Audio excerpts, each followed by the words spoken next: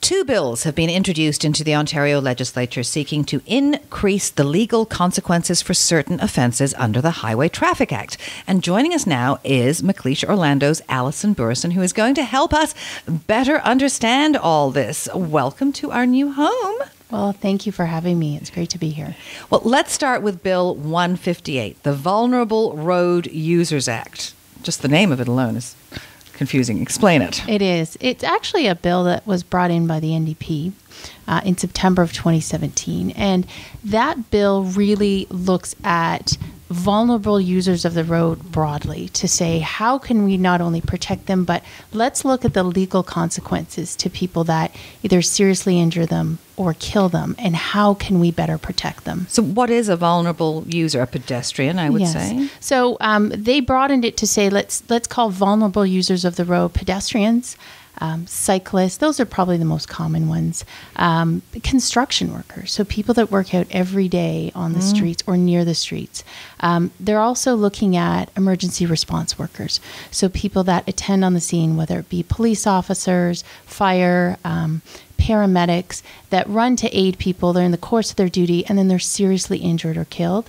That is really the large umbrella of what they consider a vulnerable road user in this legislation. So let me ask you right now are the consequences, the legal consequences, not adequate? Not at all. Um, Give us an example. So, an example is under the Highway Traffic Act, um, the kind of the most um, egregious um, offense of seriously injuring or killing someone will usually bring about a first charge of careless driving. And then what happens under the Act is um, the driver will usually get legal representation. They'll be able to plead down to a lesser offense, so um, failure to share the road or making an improper left turn.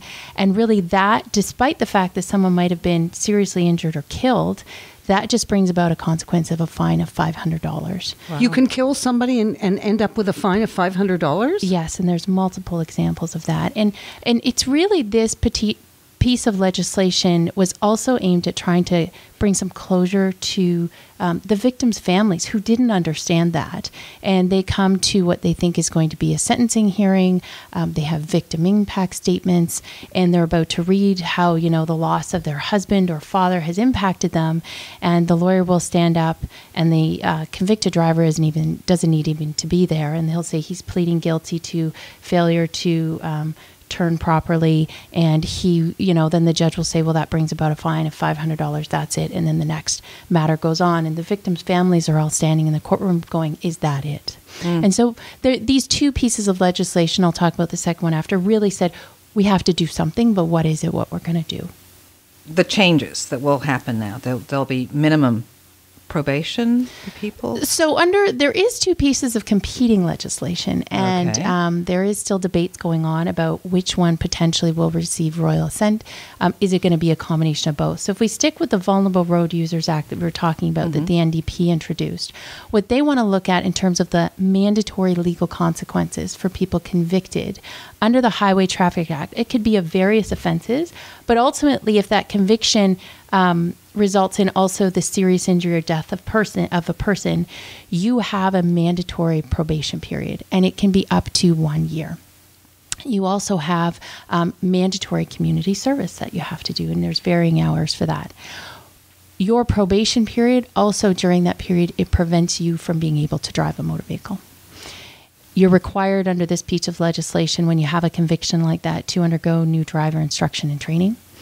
And I think most importantly for the victims um, of uh, the victim's family is that the convicted driver is required to attend at the sentencing so that he he or she can hear the victim impact statements of the family. So it's really five points to this particular piece of legislation that would be mandatory if someone is convicted of uh, an offense under the Highway Traffic Act that leads to injury or death. Well, it certainly sounds like a step in the right direction. Yes. It does. Now, there's the other Yes. side of that. So there has um, there has been a second piece of legislation that's been introduced, and um, it's really in a combination of a number of acts, but I call it the Road Safety Act.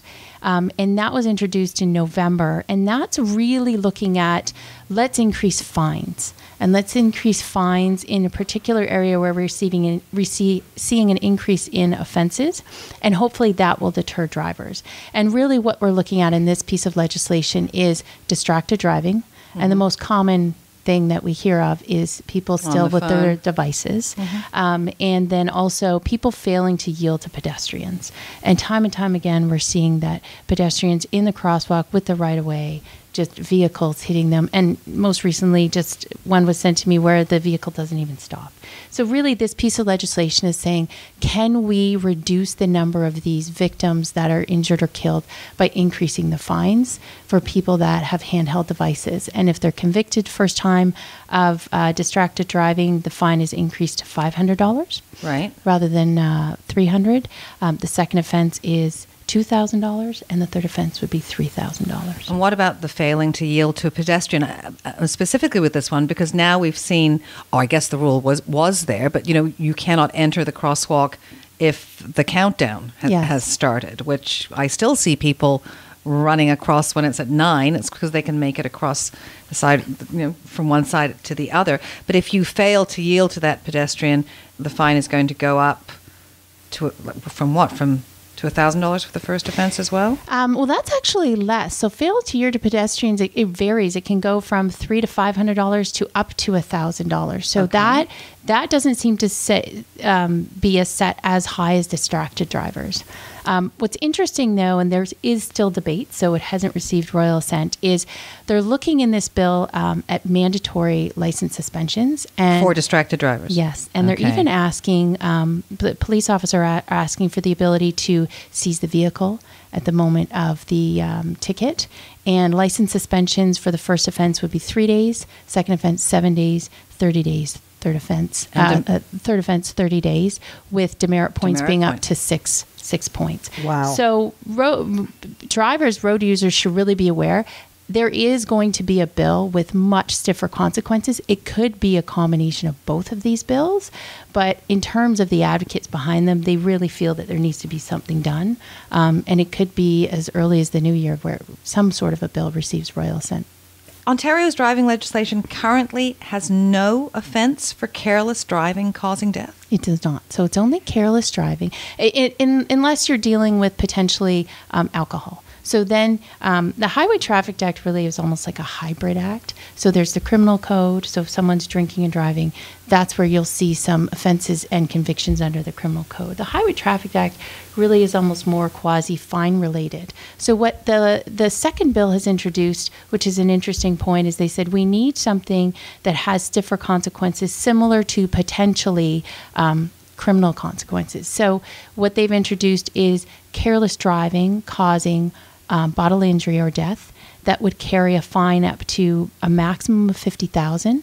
Um, it also would lead to potentially a license suspension, depending on the circumstances, of up to five years, and potentially imprisonment for up to two years.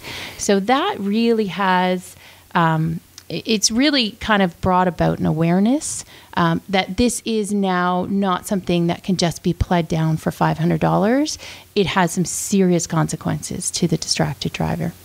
So if uh, they are con- convicted of careless driving causing death and alcohol is not involved, would that be because of distracted driving or cannabis or what? Well, not cannabis. Cannabis is going to be something different. But there's recently um, uh, a story in the paper of an individual who, right now, has been charged with careless driving because he was reaching down to reach get a water bottle and looked up and struck a Mm-hmm. So pedestrian. it could On be the anything. curb. yeah. But um, so distracted driving really could be anything. And there's this whole um, debate and plea within the courts where they're saying, well, wait a minute, this is unprecedented. You know, it's not like he was drinking and driving. It's not like he did have cannabis. So it should just be more of the fine. And this piece of legislation says, no, we have to enter into another era where there are legal consequences for more than just So, bottom line, abuse. keep your eyes on the road and don't do anything else that takes your eyes off the road. Absolutely. And most importantly is the devices. They Absolutely. are really, really clamping down on those, and there are going to be immediate consequences. Now, Alison has written a blog. It's up on whatshesaidtalk.com right now that goes into further detail detail, and you can get uh, all the information and find out how to contact Alison Burrison from McLeish Orlando should you need her services. Thank you so much for joining us. Thank you. This is what she said. We'll be right back. What she magical, a powerful wonder girl.